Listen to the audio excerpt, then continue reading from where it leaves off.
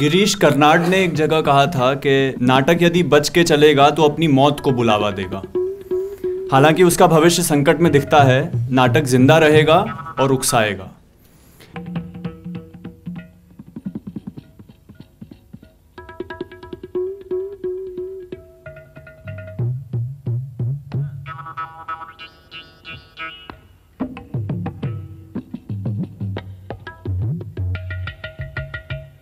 We know him as a playwright, as a film director, and an actor. I think perhaps in that order. Would you agree with that? Prince? Indeed so. I, I'm, I consider myself primarily a playwright. and then in films, I hope a director first and then an actor. I want to begin with just a few points about the ways in which Girish Karnad located himself in this thing we call Indian culture. First, language or languages. Girish not only knew several languages, he actually drew on the resources of these languages. So, first, of course, his English was impeccable. He translated his plays from Kannada to English.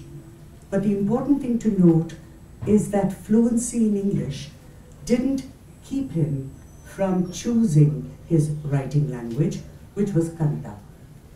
And another important thing is that neither his writing language Kannada nor his mother tongue Konkani kept him back from working with Hindi, Marathi, Telugu, and Malayalam.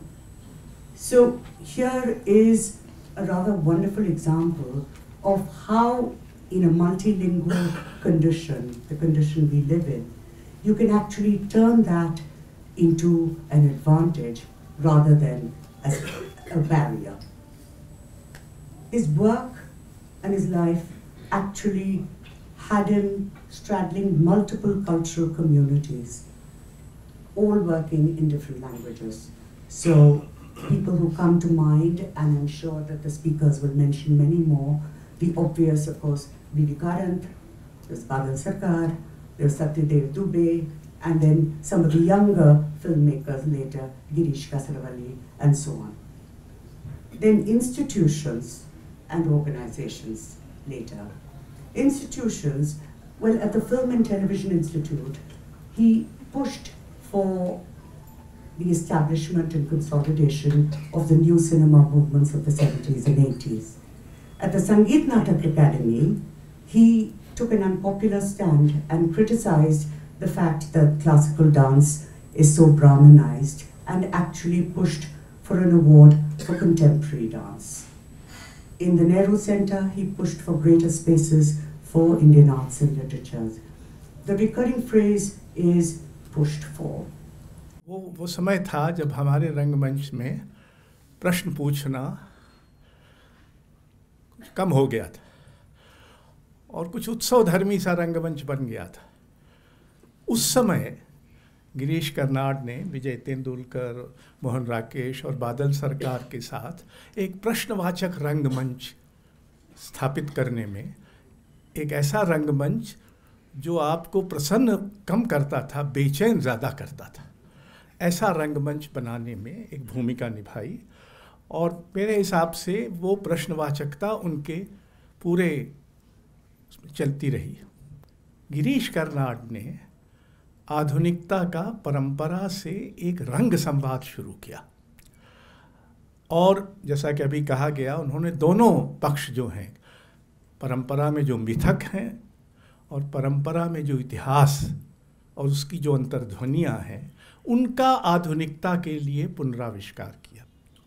वो एक ऐसे संस्कृति कर्मी के रूप में उभरे जिसके पास एक सजग और चौकन्ना अंतकरण था।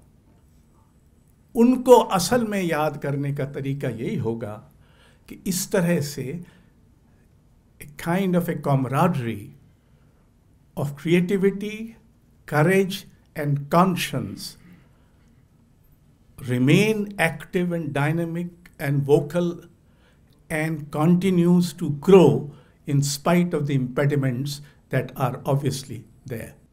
Beware of my silence. It is heavier than speech, a ceaseless river in search of a new earth, like my Basava's Vachanas. Beware of my words. They can change the wind's directions, restore to life every buried truth, turn every pavement stone into gold, and every scavenger into a saint. Beware of my magic. It can transform your bullets into garlands for my master until he dances with your skulls over your ashes in the burning ground. I will lend my voice to words your lexicons had silenced. I will name planets that were never in your orbit. I will create new laws for a new country none has seen, where the first human will be born. Beware of my words. They have many tongues like the sea. They are tomorrow's seeds, so set to enlighten many more Buddhas. My eyes are now pole stars, and my breath the borderless wind. Beware. I am more alive, alive now than when I was alive. Beware, I was I am more alive now than when I was alive. Beware. Beware. If if it was a question of facing only the English, we could take the initiative instantly. We could scatter them now as we did a few months ago. But the Marathas are supporting them.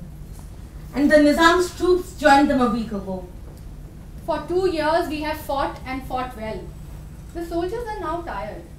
For weeks they have been sleeping on their feet. I do not know how long they can hold out. So we have no alternative but to sue for peace. Proceed, Purnaya. Purnaya, please. I, I, I cannot, Your Majesty, I cannot. I beg to be excused. All right then. I'll read it out myself. Hand me the paper. The last condition. Two hostages to be handed over to the English to be kept with them until the terms of the treaty are agreed upon, signed, and sealed. This is outrageous.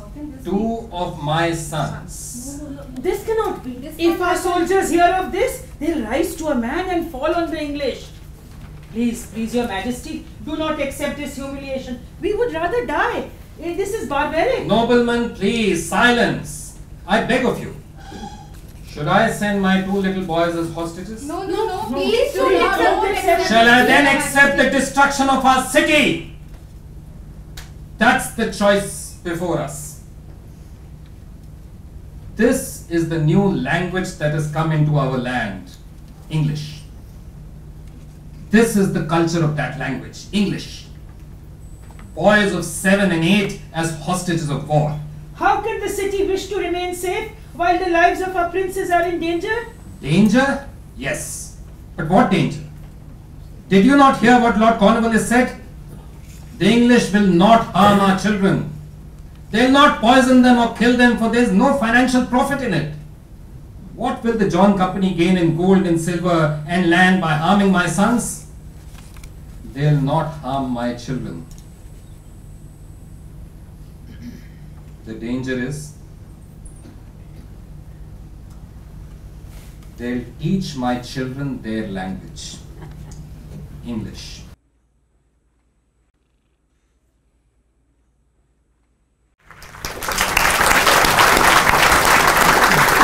I think one of the most difficult things for any human being, if I speak as an artist, is to be honest. Being honest is a huge challenge because we are constantly surrounded by people who say we are the best. And they say it very convincingly. And they'll make sure you believe it too. Um, therefore, honesty is not as easy as we think it is. And therefore, the craft can work. It can be appealing. It can reach. It can even touch, by the way. But it can be entirely dishonest. I think Girish was one of those rare human beings whose, I'll use a Tamil word here. There's a Tamil word called Tedal. you could say seeking, but it really doesn't work. Whose real seeking was honesty. And it is that seeking that drove him to write, to say, to excavate, to redefine all that he did. ಕಳಬೇಡ ಕಳಬೇಡ ಕುಲಬೇಡ ಕಳಬೇಡ ಕುಲಬೇಡ ಹುಸಿಯ ನುಡಿಯಲು ಬೇಡ ಕಳಬೇಡ ಕಳಬೇಡ ಕಳಬೇಡ ಕೊಲಬೇಡ. ಹುಸಿಯ ನುಡಿಯಲು ಬೇಡ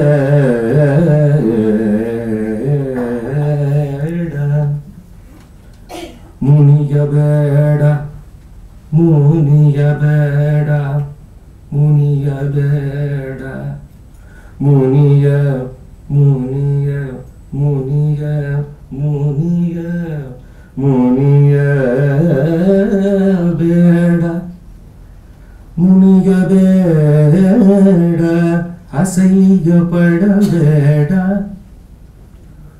முனியபேடா முனியபேடா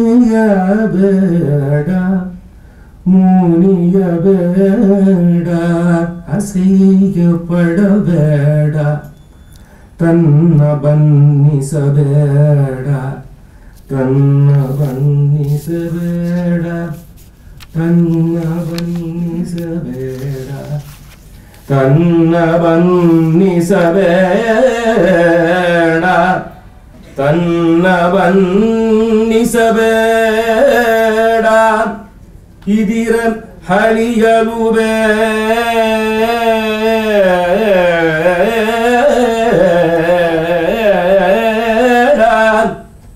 തന്നവന്നിസവേട ಇದಿರ ಹಳಿಯಲು ಬೇಡ ತನ್ನ ಬನ್ನಿಸಬೇಡ ಇದಿರ ಹಳಿಗಲು ಬೇಡ ಇದೆ ಅಂತರಂಗ ಶುದ್ಧಿ ಇದೆ ಇದೆ ಬಹಿರಂಗ ಶುದ್ಧಿ ಶುದ್ಧಿ ಶುದ್ಧಿ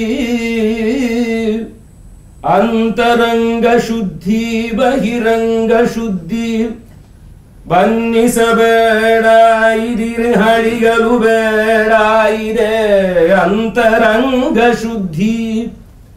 ಇದೆ ಇದೆ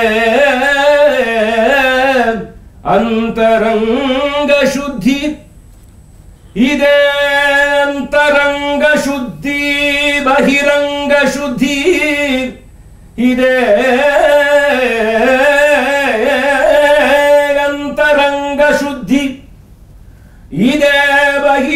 ಬಹಿರಂಗ ಶುದ್ಧಿ. ಇದೇ ನಮ್ಮ ಕೂಡಲ ಸಂಗಮ ದೇವರ ಕೂಡಲ ಸಂಗಮ ದೇವರ ಕೂಡಲ ಸಂಗಮ ದೇವರ.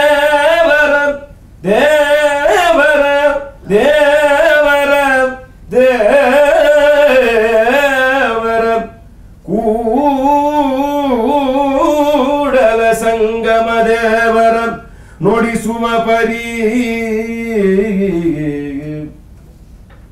ನುಡಿಸುವ ಪರಿ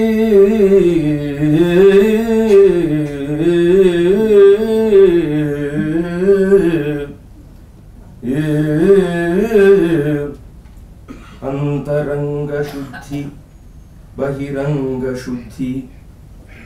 ಇದೇ ನಮ್ಮ ಕೂಡಲ ಸಂಗಮ ದೇವರ ನುಡಿಸುವ ಪರಿ ನುಡಿಸುವ ಪರಿ.